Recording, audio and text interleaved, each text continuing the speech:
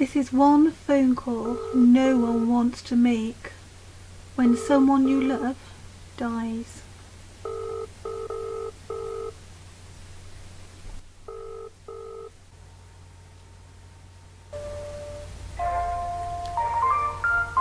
Hello again and welcome if you're new. Etiquette is not about being perfect, it's about being the best version of you. Etiquette TV with myself, Sonya Lee Davies, taking care of you while you grow your business in your community. Etiquette affects every area of your life.